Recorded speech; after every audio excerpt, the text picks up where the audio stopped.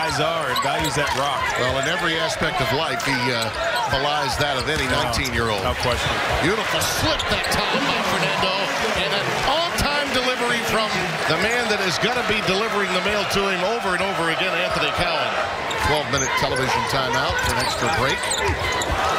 Tough pass into Fernando, but he corrals it and puts it through. I'm going to him until he tells me not to. Yeah. Another scout told me they see him as a two guard and even playing the small forward position. So it's awesome to have the ability to play different positions. Oh, Ayala puts that one down from three-point range from the seat of his pants. Here's Romeo. Langford, little Euro, this time off the heel. And a foul. The end result, Justin Smith lost his balance. Bruno Fernando with five rebounds, only four points.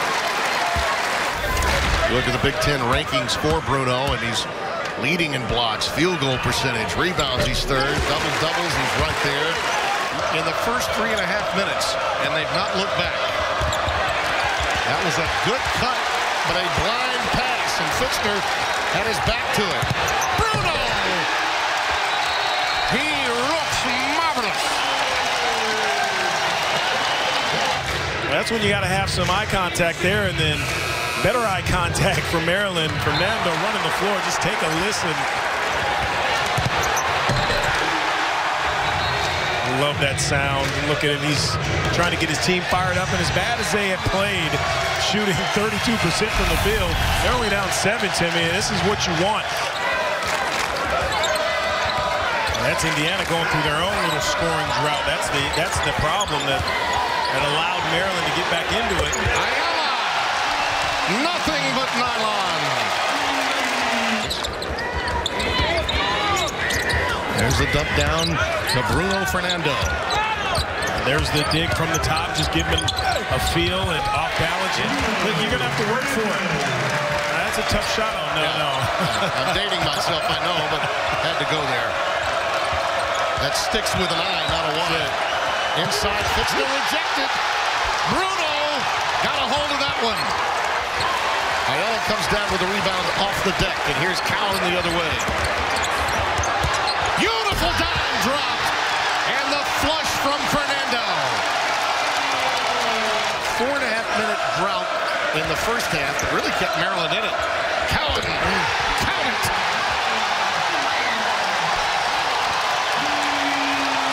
Defensively, you go inside, the help defense, get that out of here, but he's not done, folks. Cowan finding the big fella. Maryland has shown up in the second half. 14 points in the first 14 minutes. They got 16 in the first four of this half. And that's going to be a reach-in foul that would appear. Four influential freshmen in this class.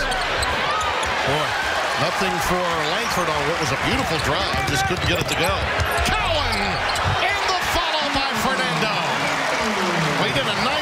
Donny, of not committing basket interference there. He could have gotten inside the cylinder. He was patient. Well, Archie knows. Archie Miller knows. Cowan's outscored his own team. Yeah. He's got 10 to their 9 in the second half. Smith not there. Fernando with an athletic rebound and putback. Up and over and right through the nylon.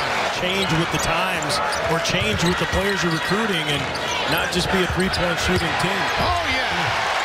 Give and go, Fernando. Maybe he heard you.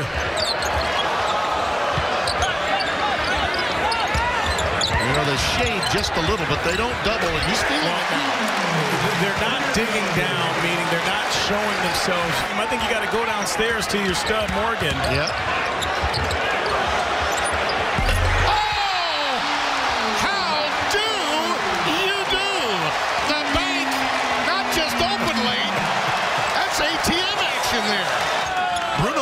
Is 10 of 11 from the floor, 7 of 7 this half, including a banker.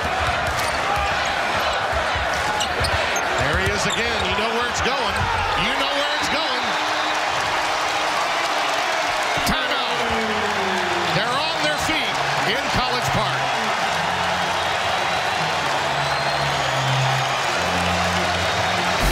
The crowd is loving it. The big fella Only his second three of the year. I think he called it. It's so loud in here right now. I'm not sure. His teammates are loving it.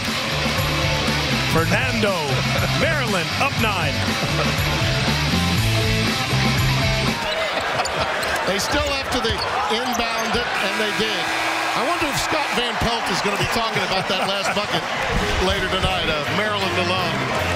That's our final for Donny Marshall, Tim Brando. Let's take you to Rob Stone, standing by in Los Angeles. Rob?